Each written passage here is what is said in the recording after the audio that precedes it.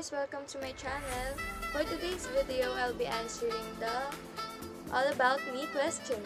Kaya kung gusto niyo ako makilala, keep on watching. Okay, let's start. First question. What is your full name? My full name is Alexandra Torago. Dapat Alexandra, Alexandra Dominic Torago siya. Kaya lang, ewan ko kung bakit. Question number two. How old are you and when is your birthday? I am 18 years old and ang birthday ko ay October 11, 2000. Question number 3. Where were you born? Sa hospital? Charot. Charot lang. Sa ano? Sampaloc, Question Manila. number 4. What is your hair color? What is my hair color? It is black, pero pag na pag naarawan, brown. Pero never pa ako nagpapakulay ng buhok. And gusto ko. Number 5. What color are your eyes? Color brown siya.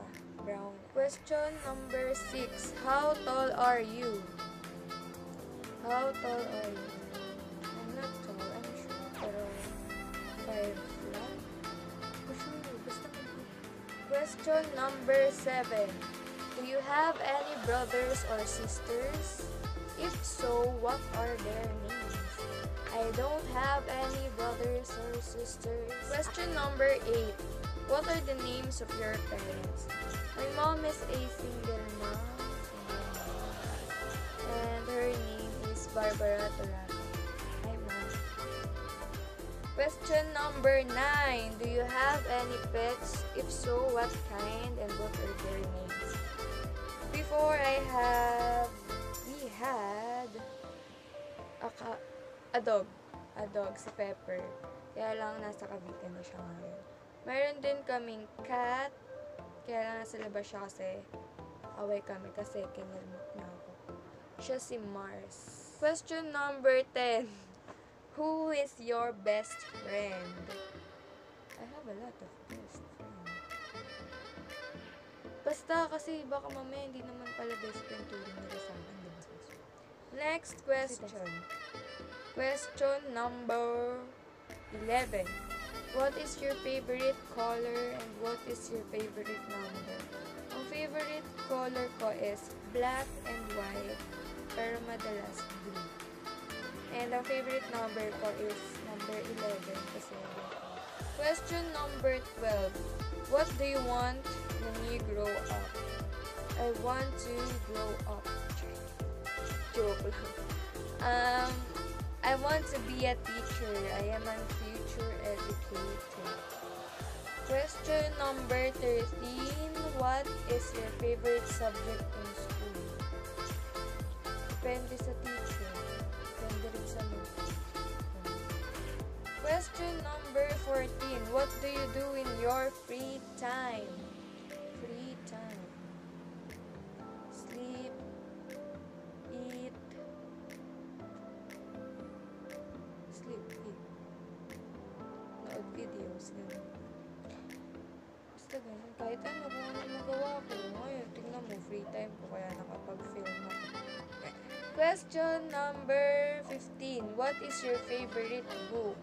Yung I Love You Since 1892. Nila, ano, yung, yung kwento nila. Yun. Question number 16. What is your favorite movie? Kahit anong movie ng Liz Kim is my favorite. Basta yun. Liz Question number 17. Do you play any sports? If so, what sports do you play? I don't play any sports. Kung maglalaro man ako ng sports, siguro sport. Question number 18. What is your favorite food? Sinigang. Sinigang is my favorite food. Lalo na yung sinigang ng mama sinigang. Question 19. What makes you unique? To be honest, hindi ko rin alam. Hindi ko alam. Tanong nyo na lang yung friends ko. Friends, comment down below kung anong nagpapa-unique sa akin. Charot. Hindi ko alam. And for the last quest And for the last question, what is your favorite animal? My favorite animal is a dog. And that's all for my all about me questions. Sana nag-enjoy kayo. So, thank you for watching guys. I love you all. Hope to see you on my next video.